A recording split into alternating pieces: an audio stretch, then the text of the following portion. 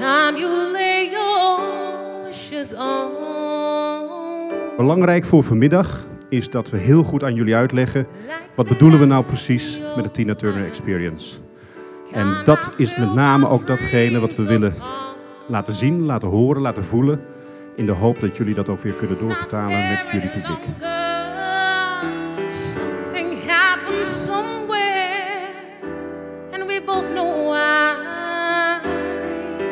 We hebben in het begin van dit jaar de musical Soul Sister naar Nederland gehaald. En we zagen eigenlijk dat de liefde en de passie voor Tina nog steeds heel erg groot is in Nederland. Er is op een of andere manier ook een speciale relatie met Nederland. Ook vanwege haar laatste concert in 2009. En we hebben juist daarom gekozen om dit jaar met Tina Turner te komen. En te zorgen dat dat gevoel nog één keer in Nederland eh, eh, kan komen.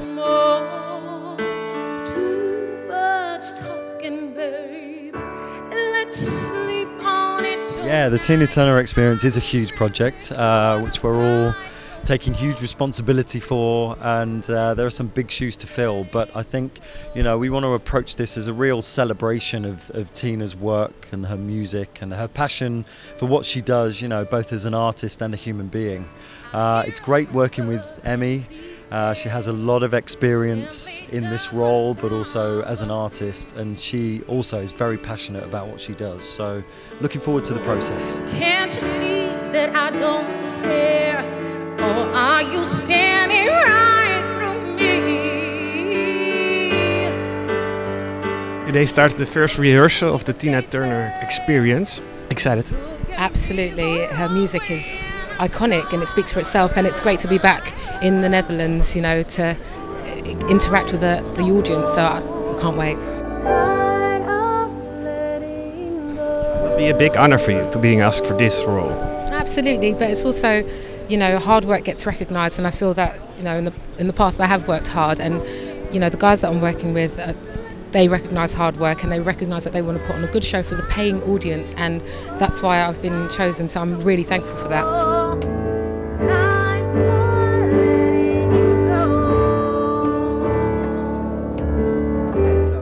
Wat je kunt verwachten in de show is dat je de energie gaat krijgen die Tina ooit met zich meebracht. Wat toch wel het belangrijkste ingrediënt was. Maar natuurlijk ook gewoon alle topnummers die ze altijd bracht. Op de manier zoals zij die altijd bracht. Maar dan wel geperformd door mensen die wat jonger zijn. Dus die de volledige energie nog hebben om zo'n topperformers te zitten. Want het is wel 2,5 uur kei en keihard werken. Uh, maar daarom halen we ook uh, dansers uit Brazilië. Uh, de iCats komen over de hele wereld. De band komt over de hele wereld. Samengebracht om nog één keer zo'n Tina Turner concert te bouwen. In one of the sections of the show, uh, we're going to have the, the famous duo, the Jockey Boys, um, do a special Tina style DJ set. Um, and to promote that, they put together a remix, which we're going to release on YouTube very soon to help promote the show. Um, we're going to give you a little taster of that remix right now. And this is one of Tina's most famous songs. This is The Acid Queen.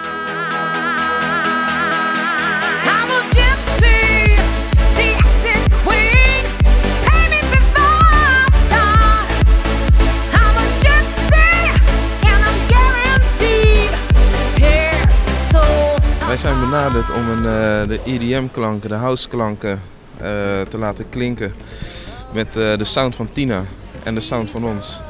En ik denk dat onze kwaliteiten, dat we daarvoor zijn uitgenodigd om hier aan mee te werken. Ja, Tech is een fantastische maatschappij, een fantastische onderneming.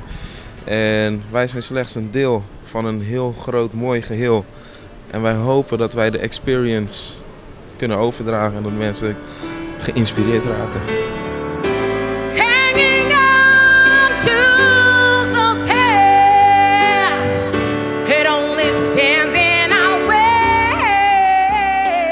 We willen niet een tribute show in de zin van we, we doen een artiest na. Maar we willen heel duidelijk kijken dat we een performance leveren zoals zij hem gedaan heeft. Maar wel met eigen kwaliteiten. En ik hoop ook dat iedereen die Amy gezien heeft beaamt dat dit wel heel speciaal is.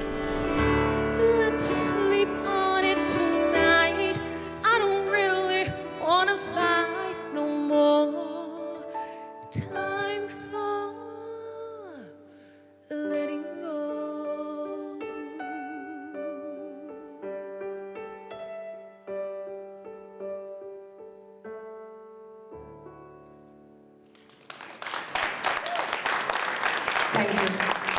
Thank you, Abby. Take a bow. Thank you, Phil.